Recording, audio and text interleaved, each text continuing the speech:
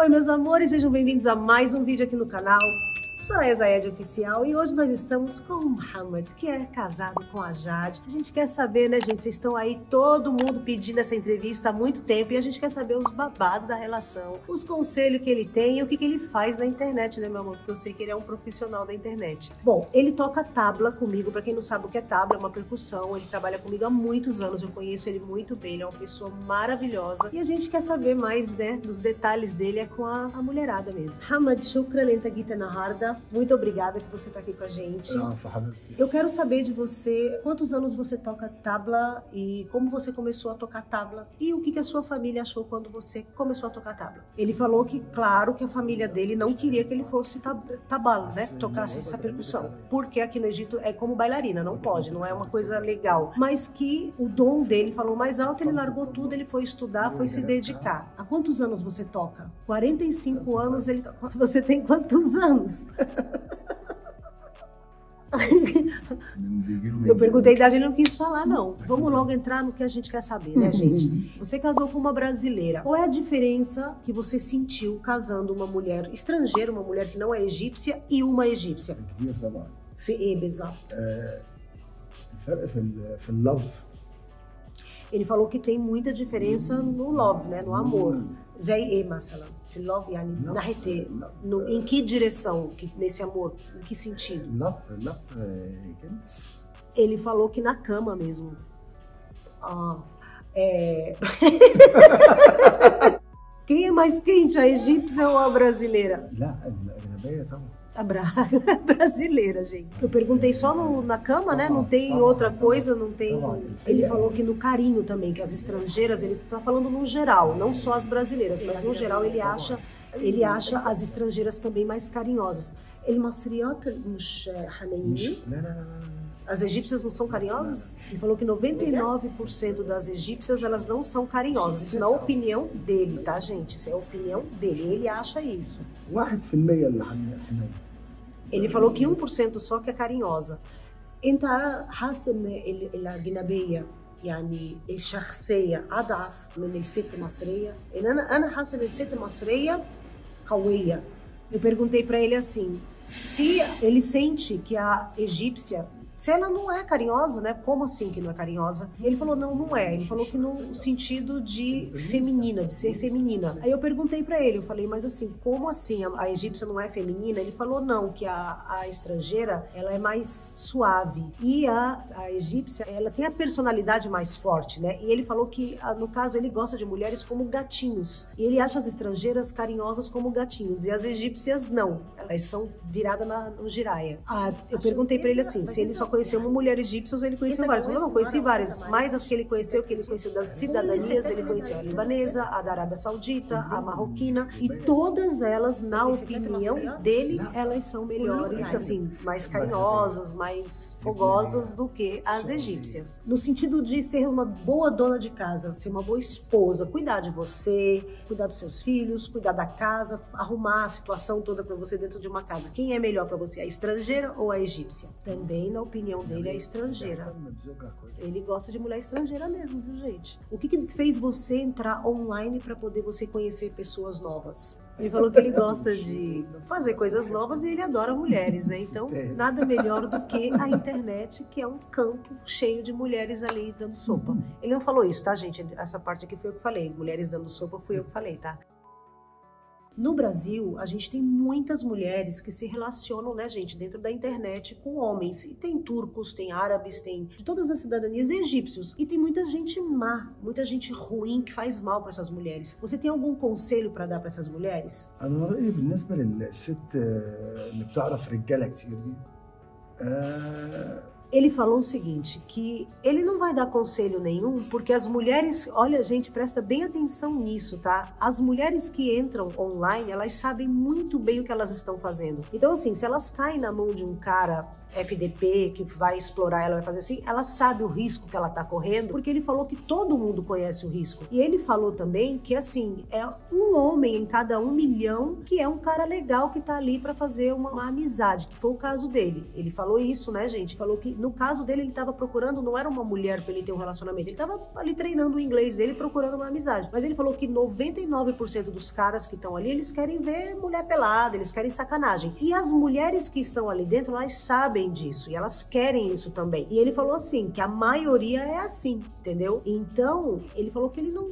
tem nenhum conselho para dar porque as mulheres estrangeiras elas sabem muito bem o que elas estão fazendo. Então, vocês estão vendo aqui a opinião? É bem sério isso. Você estava você tava uma brasileira, e aí você sentiu que tinha, assim, tipo, diferença dela ser muito imperativa, falar é. demais, agir demais. É, ele falou que não, para ele foi normal, mas que, assim, ela gosta muito de morar aqui, ela gostou muito de ficar aqui e de estar com ele, ela gosta do Egito, então, assim, ele não sabe como, mas ela conseguia até entender as pessoas na rua falando com ela de tanto amor que ela tem pelo Egito.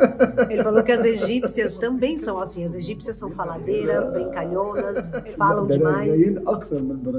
Falou que são mais faladeiras do que as brasileiras. Aí ele falou também que tem o, o lado de pedinte. As mulheres egípcias pedem toda hora dinheiro pro marido, traz comida para casa, traz alguma coisa. A estrangeira, ele falou não somente a brasileira, mas a estrangeira ela não pede nada, ela só dá, ela só oferece. E a egípcia não, é tudo ali, é uma coisa troca da outra. Então é dinheiro, é comida, é presente, traz, cadê meu carinho, cadê meu beijo, é tudo assim, é só pedir, pedir, pedir, pedir. Muhammad, quando foi a primeira vez que você começou a fazer amorzinho ali online? Quando é que você se interessou? Logo quando começou aí a pandemia, ele começou a ir procurar gente na internet. A primeira reação que você teve foi o quê? Ele lia usando o translation. Hello baby, how are you? Yes. Uma pessoa sem fazer nada em casa, não tem nada para fazer, foi chatar na internet. Você pedia para elas tirar a roupa? Hã? Trabalho. Ah, claro! De 10 mulheres, quantas tiram a roupa? Ele falou que não são todas que tiram a roupa quando eles pedem, mas as que tiram são justamente as que querem vir para o Egito. Quais as cidadanias que você se relacionou nessa época de pandemia dentro do online. Ele falou com a Coreia, ele falou com a japonesa, com chinesa, holandesa, dinamarquesa, com o mundo inteiro. Quem é mais fácil de tirar a roupa?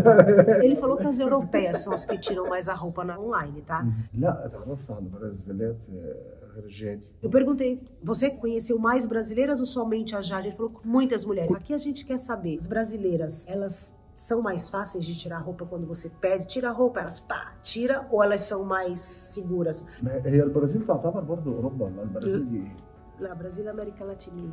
Eu tô com vergonha. Gente, ele, ele não é bom de geografia. Eu falei para ele assim, né? Perguntei se a mulherada brasileira tira roupa ou elas são mais difíceis. Ele não quis responder, ele falou, deixa pra lá. Aí eu falei para ele assim, tá bom, Europa ou Brasil? Ele falou, mas o Brasil tá na Europa. Eu falei, não, o Brasil é na América Latina. Aí ele, ai, não, então tá. Então bota os brasileiros aí, ou seja, as brasileiras são as que tiram a roupa, viu, gente? E a Nibelman, ele brasileiro, ele pam. اه Vocês viram, né? Ó, oh, é, sim.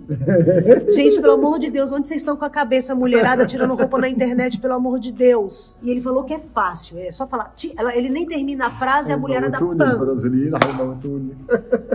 pam. Romar, ele tá preocupado que as brasileiras odiarem ele. Eu falei, não. Eu falei, é muito importante que você fale sobre isso, porque é um homem que chata online falando. Então, o que ele tá falando é que lá dentro é um mundo de ninguém e que a mulherada, ele falou também, gente, que às vezes as mulheres, ele, ele nem pede, ele nem pede pra mulher tirar a roupa, as brasileiras, tá, gente? E a mulherada já vai ali abrindo a roupa, entendeu? Então, é complicado isso. E ele tá com vergonha que ele falou que, não quer, que ele não quer que as pessoas odeiem ele. Eu falei, não, é bom você falar, porque isso começa como uma brincadeira e depois vai para um patamar de tirar um rim, de tirar uma coisa, de virar um travano, né, gente? Então isso é bem complicado. Quando você entra no online e aí você vê uma mulher assim que te interessa. O que que faz você pedir ela em casamento como você pediu a Jade? Eles estavam falando sobre workshop, trabalho, tabla, dança e aí a começou a entrar só nesse assunto, só falando de trabalho. Aí ela falou para ele, né? Como ela falou na entrevista, ela falou: "Você casa comigo?". Aí ele falou para ela: "Espera um pouquinho,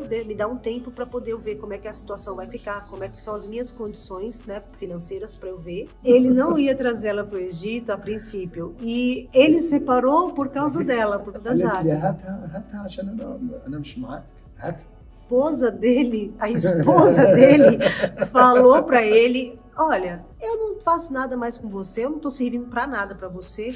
Traz essa brasileira pra você casar com ela, ela vai cuidar de você, vai ficar com você, vai te distrair. E ela é uma esposa, né? Vai ficar com ele, porque a outra não queria mais ele. Ele falou que quando ele começou a ficar com a Jade, né, no caso, ele ficou, foi ficando sério, é, ele contou pra esposa dele, ele ainda estava casado.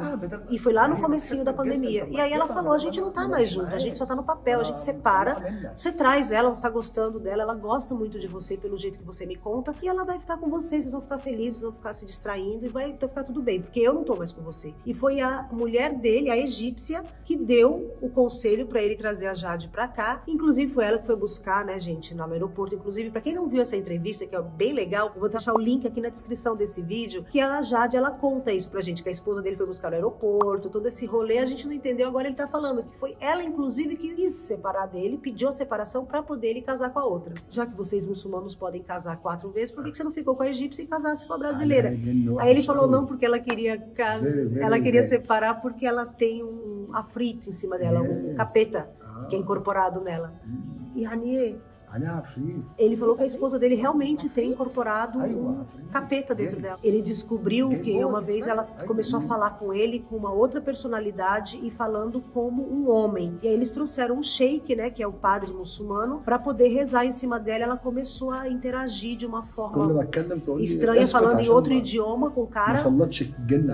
E falando com a voz de homem. E aí ele começou, toda vida que eles tinham uma discussão, ela falava assim, cala a boca, não briga comigo, não faz, não me contraria, senão eu vou jogar em você o demônio que está comigo. eu imediatamente tenho crise de ansiedade. Eles foram em vários lugares para exorcizar esse negócio, esse en- encosto dela.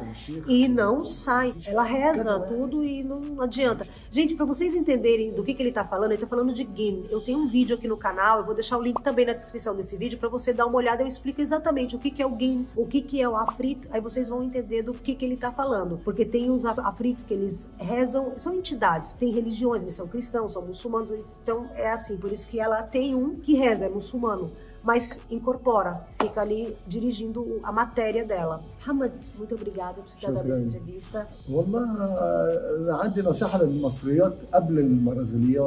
Eu falei, ele tem um conselho para dar para nós brasileiros. Ele falou, eu tenho um conselho para dar para as egípcias antes de dar para as estrangeiras e para as brasileiras. O conselho dele para as egípcias pararem de ficar no telefone.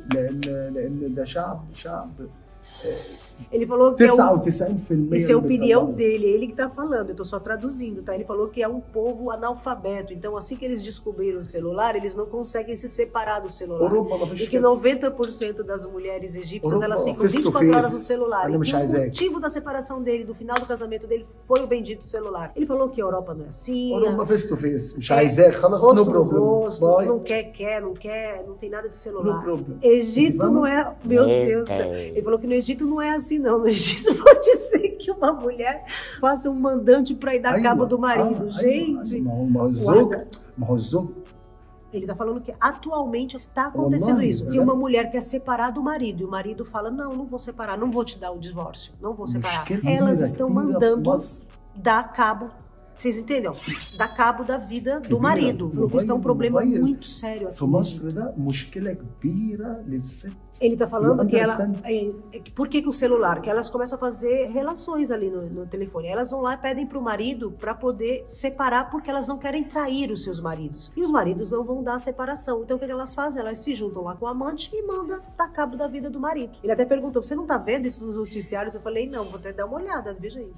Falou que na Europa, na Europa que ele é no fala problema. no, no no problem. estrangeiro, é, não é assim. Você في quer مصريين separar, في, separa, في acabou. مصريين كده هنا بس دول واحد في المليون Falou que tem egípcios também que deixa, Vai embora. que separa, a mulher chega e لان fala, انا não quero mais عارف você e لان انا manda من embora. من من من من الخبره Ele falou que não são muitos egípcios. É ele falou 1%, mas não é 1%, tá, gente? Mas é um pouco mais. Que quando a mulher pede para divorciar, ele já dá o divórcio, porque são pessoas que leem muito, estudam muito, vivem com outras pessoas, são modernas, que é o caso dele. Quando a esposa dele chegou e falou, não quero mais saber de você, ele já foi lá e deu o divórcio para ela na hora. Apesar que ela falou, né? Se você não separar, eu vou mandar o capeta que tá em mim jogar em cima de você. Ele falou que até o nosso presidente aqui começou a falar pro pessoal ficar menos celular, concentrar mais com seus eh, com cônjuges, porque realmente ele disse isso na opinião dele, eu não vi, tá, gente? Ele tá falando que a internet tá acabando com os casamentos no Egito através do celular. Facebook, Facebook também, tá? Chat no Facebook, que é, começa a fazer relacionamentos com outros homens, aí chega pro marido, porque aquelas não gostam muito, não é todo mundo gosta de trair, não é como em outros países que tudo bem, às vezes, num país, né? Algumas mulheres tudo bem, ela falou que a maioria não quer trair, então vai lá e pede para os caras saírem fora, deixar elas livre, eles não querem, aí elas começam a fazer complô para mandar dar cabo da vida deles. Por isso que ele gosta das, Firo, das, das estrangeiras. Ele é, fala europeiote, mas é, é. É, Tem verdade ah, nas estrangeiras, gente. Ele bota a mão nos peitos, tá, gente? Vocês percebem. Ele falou que as egípcias, elas ficam quietinhas, falando para você o que você quer ouvir. Aí ela, você não concorda lá de deixar ela livre. Aí elas vêm começam a arquitetar com outras pessoas, para bater em você, para quebrar suas pernas. Hum, hum, ele falou que hoje em dia, ele, por exemplo, chega na esposa dele e fala assim: mamãe, eu quero. Eles têm essa mania de chamar a, a mama e a baba. Fala, mamãe, eu quero comer alguma coisa. Aí ela nem olha na cara dele, fica com a cara no celular e fala assim: entra na cozinha e se vira. Ele falou que é uma coisa que deixa o cérebro louco. Ah, gente, é tempos modernos. Elas estão, elas estão se desvinculando deles. Falou que as estrangeiras não, elas têm horário para tudo. Ele não sabe o que ele tá falando, né? Porque as estrangeiras também são assim, eu acho. Pelo menos eu sou. Ele falou que as estrangeiras têm horário para tudo: hora de comer, hora de fazer as coisas, hora de namorar, e tudo tem horário. النت هو اس الفساد في في الستات دلوقتي رئيس É, o Rami tá Actor falando, Miguel. o Rami tá falando que o celular ele é uma coisa pra gente se السلبي ajudar a trabalhar e fazer 99% tudo. Mas ele não, ele acha que o celular devia ser e- eliminado da face da terra. Ele falava, بص بيتكلموا في الموبايل ولا في ele falou assim: você dirige? Eu falei, dirijo. Ele falou assim: quando você está dirigindo, o que, que você vê do seu lado? Eu falei, as pessoas falando no celular dirigindo. Mas Ele está falando que o as pessoas chegaram ao ponto, isso na opinião dele, de andar com a cara no celular e esbarrar uma nas outras aqui no Egito. Que ele acha que aqui no Egito deveriam tirar, proibir o celular, que ele fala que o celular não foi feito para o povo egípcio. Oh, não. Hamad, shukran, essas Obrigada por ter contado todas essas coisas boas. Hanikam Elemta. Ele perguntou quando é que a gente vai fazer a parte 2. Falei, qualquer momento, vamos Mas esperar, ótimo. né? Muito obrigada por você ter vindo aqui no canal. Gente, quem chegou até aqui, não esquece, se inscreve no canal, deixa um like, porque o like é importante, meus amores. Se você chegou até aqui é porque você gostou do vídeo, então já deixa seu like. Se inscreve no canal e manda uma pergunta. Se você quiser a parte 2, já manda uma pergunta pro Muhammad pra próxima vez, tá bom? Muito obrigada, Muhammad, por ter vindo aqui na Ok. entrevista. Shukran, Kitir, Kitir, Kitir. Um beijo, meus amores. Fui.